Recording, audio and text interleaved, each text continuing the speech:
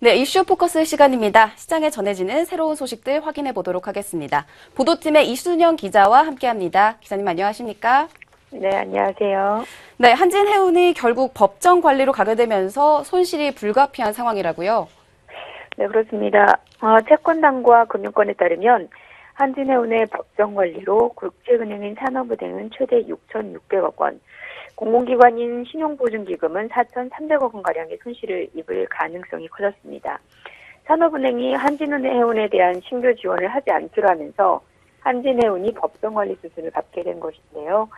어, 산업은행은 한진해운에 대한 추가 지원이 혈세 낭비로 이어질 가능성이 크다고 판단해 이 같은 결정을 내린 것으로 분석됩니다. 앞서 STX 조선해양과 대우조선해양이 각각 4조 원이 넘는 돈을 투입을 했었지만 밑빠진 독에 물붓기다라는 그런 비판을 받았기 때문입니다. 어쨌든 한진해운이 법정 관리 수준을 밟으면서 이미 투입된 1조 원 이상의 혈세는 손실이 불가피해졌습니다.